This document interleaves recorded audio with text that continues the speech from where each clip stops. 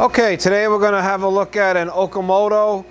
Uh, this is a really nice 16 by 32 DX.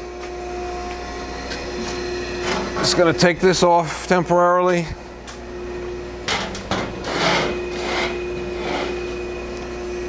Uh, so it's got a real nice magnet on here. We've got the grinding wheel hub. It has an automatic over-the-wheel dresser. Also has a paper band, automatic paper advance uh, coolant system. The machine's currently wired for 440 volts, 460. You also have your three uh, leveling pads for the three-point leveling system on this machine. Uh, so right now I have it running, the hydraulics are on, the spindle is on. I could shut that off. You get an error up there once you shut off the hydraulics. And we can start that again.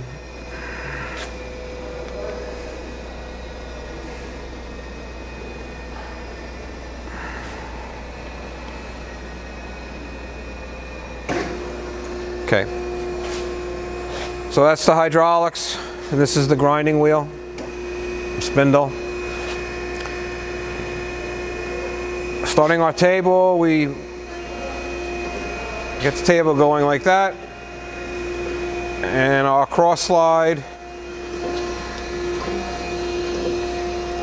we have to select a position to go, and saddle starts to move.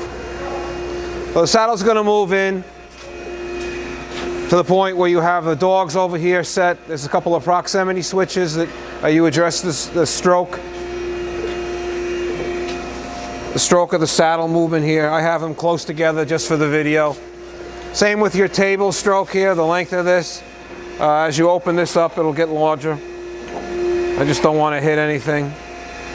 And it just makes the whole thing a little bit quicker. Controls down here, this is hydraulic.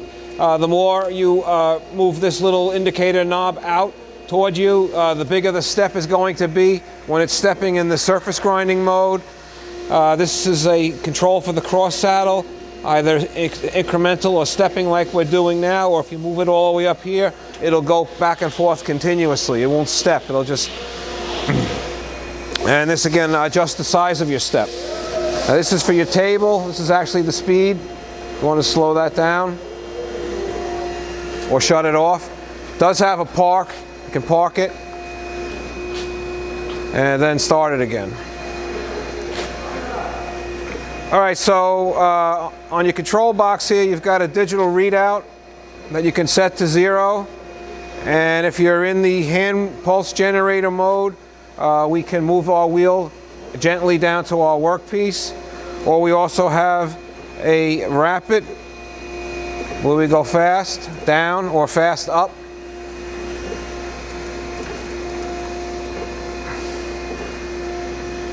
And this is set up pretty nice. They, they have uh, tenths, thousandths, and uh, uh, I mean 10 millions, one tenth, and five tenths for your manual pulse generator.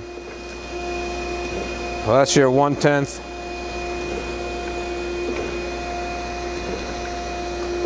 And that's your 10 millions.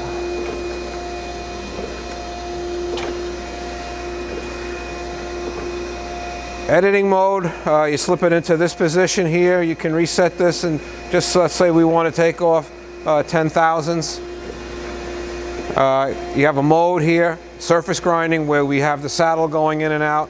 You also have without the saddle moving, which is what they call slot grinding or plunge grinding.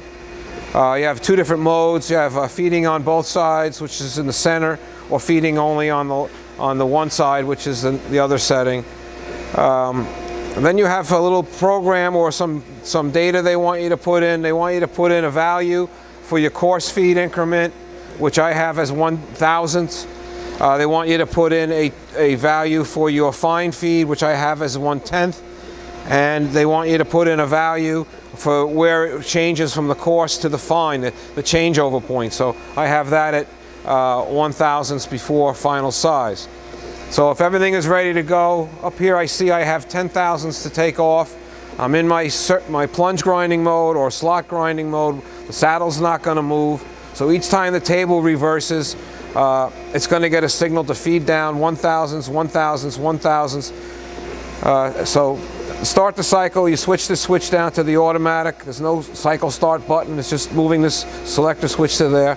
So now you see we start to feed down 7,000s, 6,000s, right down to 1,000s where it's going to switch to the fine feed. Now we're only feeding it a tenth. And now the cycle's over. You can select how many empty spark out passes and then uh, it parks. So that's the whole cycle. Now in order to do your next cycle, again you got to go into your edit mode, you got to check your work pieces, uh, you have to uh, make any kind of adjustment if you need to. Uh, but for your next job, you're going to have to touch the part again. You're going to have to put an actual value in here. Uh, you know, I put in 10 thousandths, but you, you may have to take off um,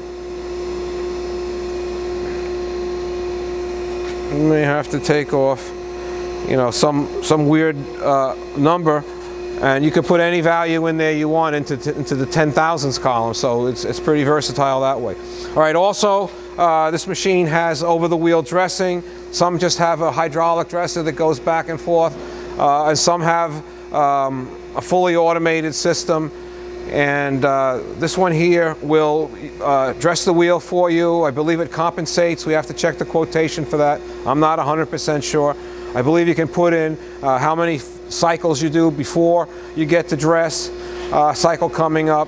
You put in your values of, of the dress increment and how much you want it to compensate. Um, so that's what that's all about. And over here you've got your basic starting the hydraulic pump, the spindle, the coolant, and whatever. so there you have it. This is a very nice grinder in very nice shape, nice paint, original paint. Somebody took care of it. This is the Okamoto 1632 DX. Oh, and by the way, uh, it takes a 14 inch grinding wheel. Uh, you could put a 12 on there, but it takes a 14 with a 12, uh, 5 inch bore. So, uh, thank you very much.